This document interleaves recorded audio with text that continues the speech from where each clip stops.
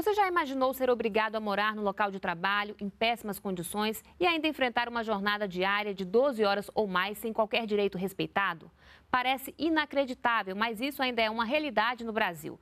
Para combater o trabalho em situação semelhante à escravidão, o governo federal criou um grupo móvel de fiscalização que percorre todo o país. No ano passado, mais de 2.500 trabalhadores foram resgatados. Sobre esse assunto, vamos conversar aqui no NBR Entrevista com Alexandre Lira. Ele é auditor fiscal do trabalho. Tudo bem, Alexandre? Muito obrigada pela sua presença. Tudo bem, não é um prazer falar sobre o tema, mas faz necessário para que as pessoas percebam que, infelizmente, em nosso território ainda existe essa prática. Se não estamos falando do trabalho escravo clássico, porque o Estado não reconhece mais essa prática, inclusive combate efetivamente, estamos falando de situações análogas à de escravo. Bem, Alexandre, eu imagino que as pessoas saem do interior né, com promessa aí de carteira assinada, emprego, facilidades, né? E chegam no local, não é nada daquilo, né? É, o trabalho análogo de escravo está se desenvolvendo no meio rural, mas também temos incidência e vemos é, enfrentando no meio urbano e marítimo também. Tivemos caso recente de, de combate ao trabalho escravo em Rio do, do estado do Amazonas. E essa situação é uma falsa promessa, é um engano ao trabalhador, é imaginar que ele pode ter um, um retorno fácil, fruto do seu trabalho, e quando chega no, na, na, no trabalho não é nada disso. Infelizmente, a gente está falando de condições péssimas de meio, de meio ambiente do trabalho, estamos falando de endividamento ilegal, impossibilidade de ir e vir em razão de retenção de documentos, vigilância armada, então uma série de situações que atentam contra a dignidade do trabalhador. E como é que é possível comprovar isso? a inspeção do trabalho, por intermédio da Secretaria de Inspeção do Trabalho, a divisão que eu chefio, divisão de fiscalização para erradicação do trabalho escravo, recebe as denúncias dos diversos parceiros, Comissão Pastoral da Terra, Polícia Federal, Ministério Público do Trabalho, analisa as denúncias, faz uma triagem e vamos a campo. Vamos ao local denunciado, que pode ser no meio urbano, marítimo ou rural. E chegando lá, pela nossa experiência, pelos elementos que temos de definição do trabalho análogo de escravo, identificamos a situação assim identificada, tem uma série de procedimentos que a Inspeção do Trabalho, com seus parceiros, o Ministério Público do Trabalho e Auxílio de Força Policial, adotam. Esse é o trabalho do Grupo Móvel que percorre todo o país. Exatamente. Temos as equipes do Grupo Especial de Fiscalização Móvel. Essas equipes são diretamente vinculadas à Brasília, ao Ministério do Trabalho e Emprego. Então, essas equipes saem a campo junto com o Ministério Público do Trabalho e Auxílio de Força Policial, mas temos também, em nível regional, a atuação dos órgãos descentralizados do Ministério do Trabalho e Emprego. E vocês recebem muitas denúncias? Ano passado, diretamente, o Ministério do Trabalho e Emprego recebeu por volta de 180 denúncias. Conseguimos cumprir quase que a totalidade. Temos por volta de 8 a 10 denúncias em aberto que ainda estão sendo fiscalizadas agora no começo do ano. E como é que é feito esse monitoramento? Né? Vocês passam em determinado local, é... depois de quanto tempo vocês voltam lá? Como é que é feito esse acompanhamento? É bom falar da identificação propriamente dita. Chegando ao local denunciado, vamos perceber, por intermédio de entrevista com os trabalhadores, filmagem, registro fotográfico e conversa com o empregador, aquela situação se for caracterizado como análogo de escravo nas suas espécies, ausência de instalação sanitária, o trabalhador sendo obrigado a fazer as necessidades básicas ao redor do acampamento, no mato, é, água potável não fornecida, condição desumana de alojamento, endividamento. Percebendo uma dessas situações, nós vamos afastar os trabalhadores e negociar com o empregador o pagamento das verbas rescisórias, fazer o pagamento é, das verbas rescisórias aos trabalhadores, lavrar tantos autos quanto forem as irregularidades e emitir guia de seguro-desemprego para o trabalhador afastado, que vai dar direito a um pagamento de um salário mínimo por mês durante três meses. Essa é a nossa atuação.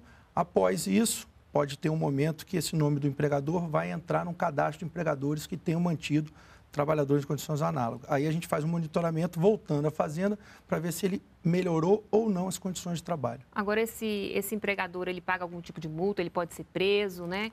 Ou é mesmo ficar na lista suja do Ministério do Trabalho? É, ele pode, ele vai, ele recebe os autos de infração, são lavrados os autos de infração. Decorrente desses autos de infração, ele tem direito a exercer uma contraditória ampla defesa, pode se manifestar surgindo contra os autos. Após isso, se, a, se for mantida a, a, o auto de infração, ele tem o direito de fazer o pagamento das multas com 50% e não recorrer. Se ele quiser recorrer, ele perde o direito dos 50% e, ao final, ele pode pagar o integral ou ser compelido a pagar por intermédio de uma execução. Tem um termo de ajustamento de conduta com o Ministério do Trabalho, que ele pode, o Ministério pode determinar o pagamento de indenização por danos morais, individuais e coletivos.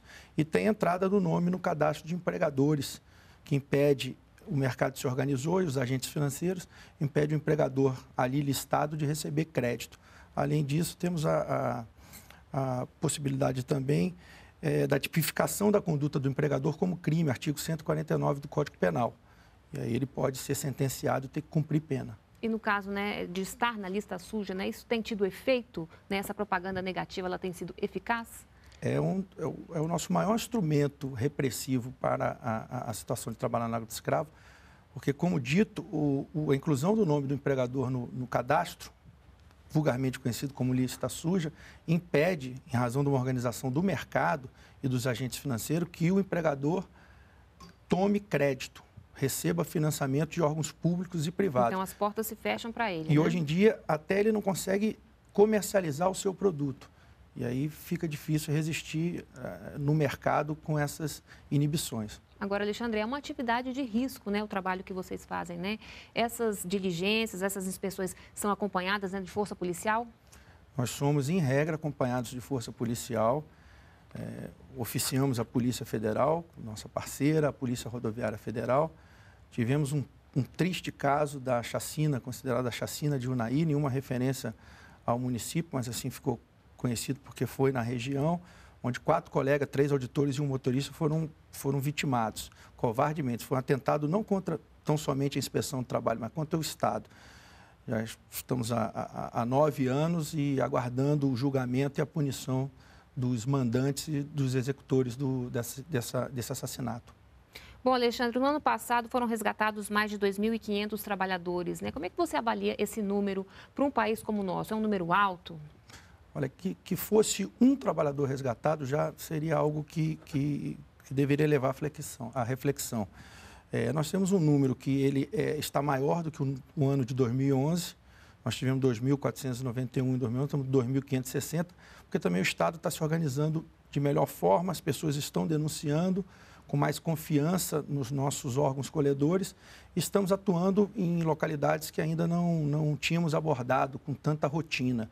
Então, isso indica um, um, um aumento, se não é substancial, pelo menos é, reflete esse, esse melhor planejamento e execução das operações. E quais são os setores que lideram o ranking aí, né, de, de trabalho escravo no país?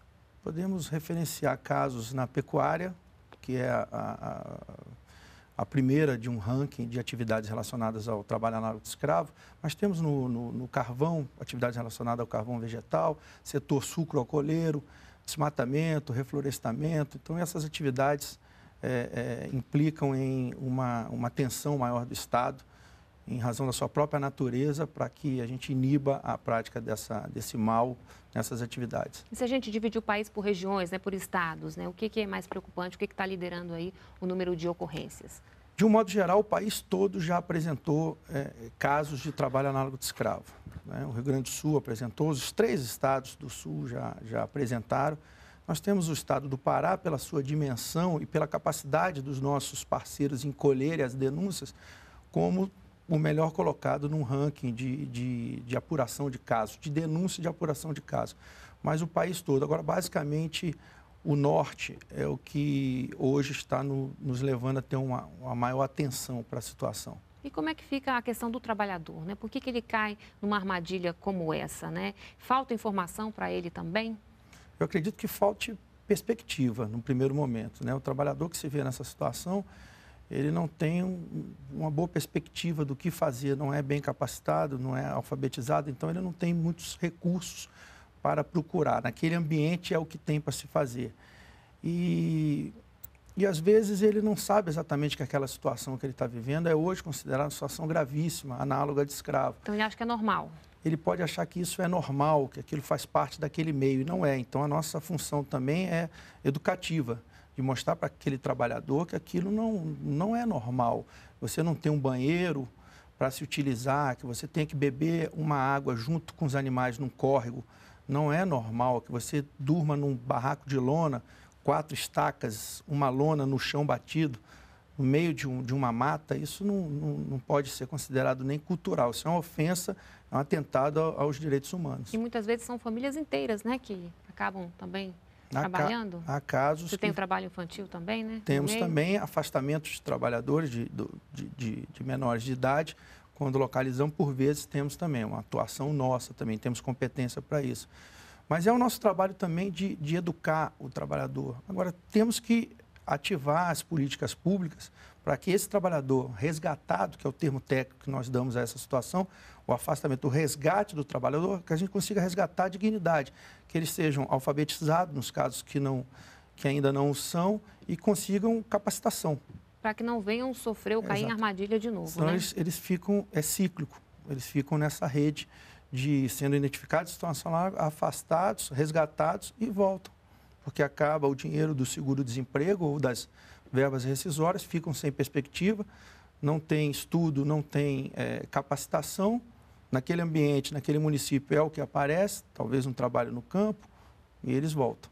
Bom, qual é a situação do Brasil se a gente for comparar o nosso país a outros países? O Brasil é referência no combate ao trabalho análogo de escravo.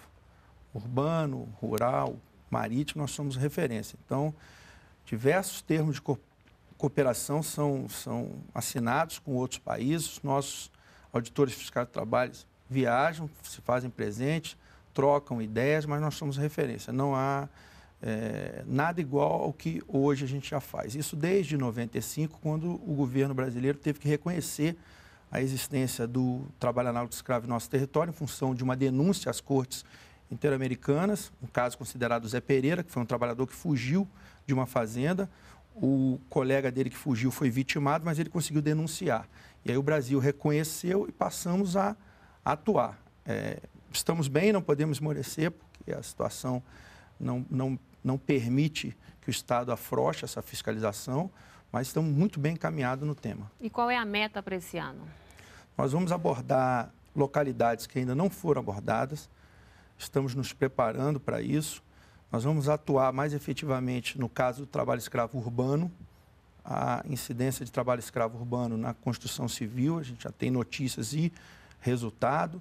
Na indústria têxtil tem acontecido Inclusive também. Inclusive com presença de estrangeiros, né? No, da, da, da, indústria têxtil, nós temos a presença de bolivianos, basicamente bolivianos, trabalhando em pequenas confecções que, na verdade, mascaram a, uma grande marca, ou grandes marcas, na utilização dessa mão de obra. Então, terceirizam, precarizam essa situação, desligam desse trabalhador que está na ponta, ele está numa situação que atenta completamente à dignidade do cidadão, do trabalhador, e a gente consegue identificar essa pequena confecção e subir para quem realmente é o tomador, quem lucra com aquela situação de miséria do trabalhador. Bom, Alexandre, qual é a dica, a orientação para o trabalhador? Não acreditar em facilidades? É, não acreditar em facilidades e, em caso de dúvida, pode se, se socorrer da Comissão Pastoral da Terra, da Polícia Federal, Polícia Rodoviária Federal, o próprio Ministério do Trabalho e Emprego tem representação nas diversas unidades da federação, nas 27 tem órgãos,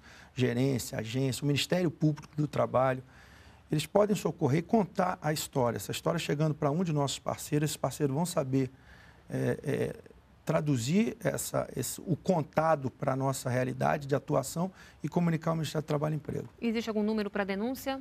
A Secretaria de Direitos Humanos tem atuado na, na coleta de denúncia no Disque 100, que é o número oficial deles para colher essa denúncia, fora a possibilidade de diretamente ir a algum desses órgãos. Tá certo, muito obrigada pela sua entrevista e até uma próxima oportunidade. Parabéns pelo trabalho. Eu que agradeço. Outras informações na página do Ministério do Trabalho. E para rever essa entrevista, é só acessar o endereço que aparece agora, aí na sua tela. Muito obrigada pela companhia e a gente se vê no próximo programa. Continue aqui na NBR, a TV do Governo Federal.